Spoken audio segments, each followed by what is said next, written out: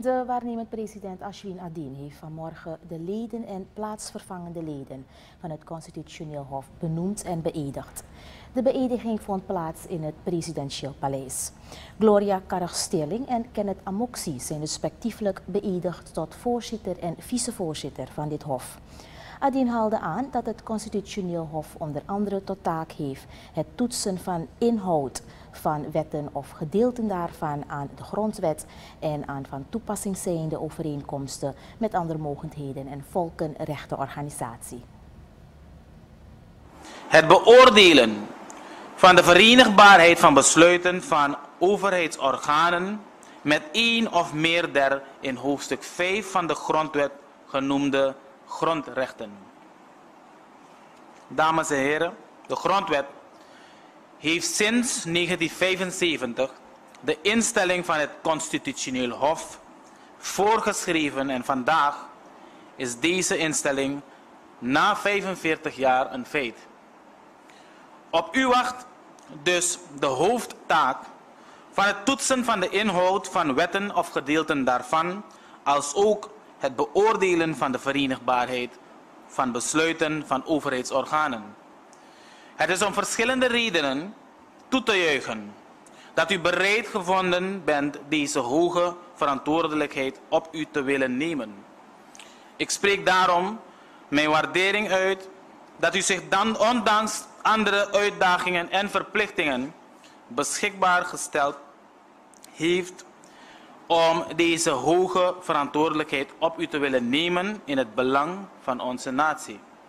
Suriname kijkt uit naar uw oordelen en oplossingen over voor discutabele staatkundige vraagstukken welke om een juiste interpretatie vragen. De pas beëdigde voorzitter Gloria Karag-Sterling van het Constitutioneel Hof zegt dat zij en de overgeleden en plaatsvervangende leden deze verantwoordelijke functies aanvaarden.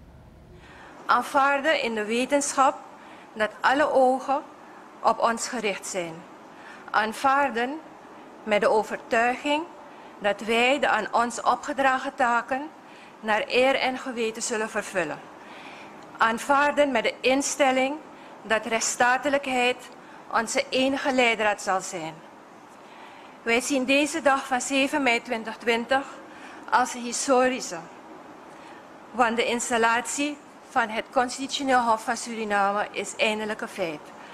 De wens van de grondwetgever sinds 1975 in onze grondwet opgenomen is na 45 jaar eindelijk vervuld.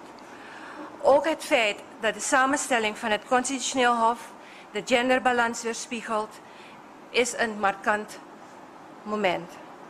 Het Constitutioneel Hof is een grondwettelijk onafhankelijk staatsrechtelijk orgaan en zal de beleving van de rechtsstaat verder tot grotere hoogte brengen.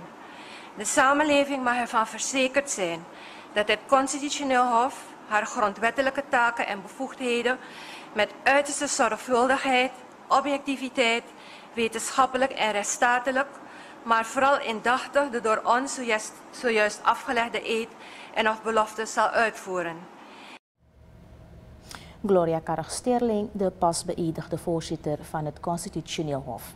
Zij sprak vanmorgen in het presidentieel paleis na de beëdiging van haar, de leden en plaatsvervangende leden van het Constitutioneel Hof. Sterling zegt dat het Hof zal arbeiden tot verheffing van ons geliefd land Suriname.